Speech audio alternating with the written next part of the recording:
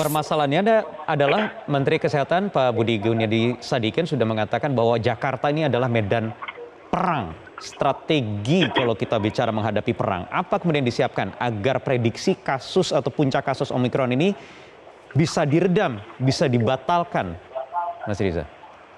Ya jadi memang pertama betul sekali sampaikan Pak Menteri Kesehatan karena Jakarta ini ibu kota, semua masuk ke Jakarta, warga negara asing, warga Indonesia yang dari luar negeri, dari bahkan dari Aceh sampai Papua itu umumnya transit di Jakarta. Memang inilah tempat yeah. berkumpulnya semua orang dengan segala kepentingan.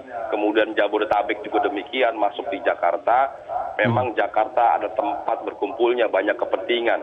Nah untuk itu memang kami uh, harus menyiapkan Jakarta sebagai uh, medan pertempuran yang pertama menghadapi ya. Omikron maupun COVID berbagai upaya kita tingkatkan seperti yang tadi hmm. kami sampaikan peringatan bagi seluruh warga uh, kemudian informasi kemudian protokol kesehatan juga menyiapkan berbagai fasilitas yang ada rumah ya. sakit laboratorium tenaga kesehatan obat-obatan semuanya kami siapkan dan kami tingkatkan termasuk Baik. meningkatkan vaksin yang sampaikan Pak Presiden sejauh ya. ini jumlah vaksin kita sudah mencapai 143 ribu 20 eh, ini yang booster saja.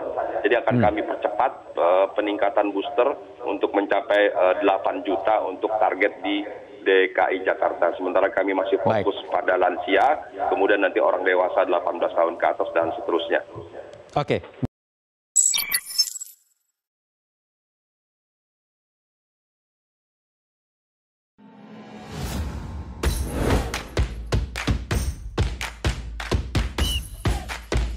Ayam kalau diaduk-aduk jadi cair. Seriously, diaduk kayaknya ya.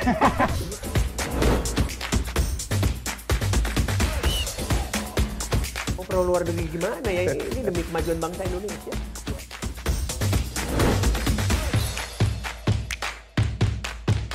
Isu kebangkitan uh, PKI ini uh, dihentikan.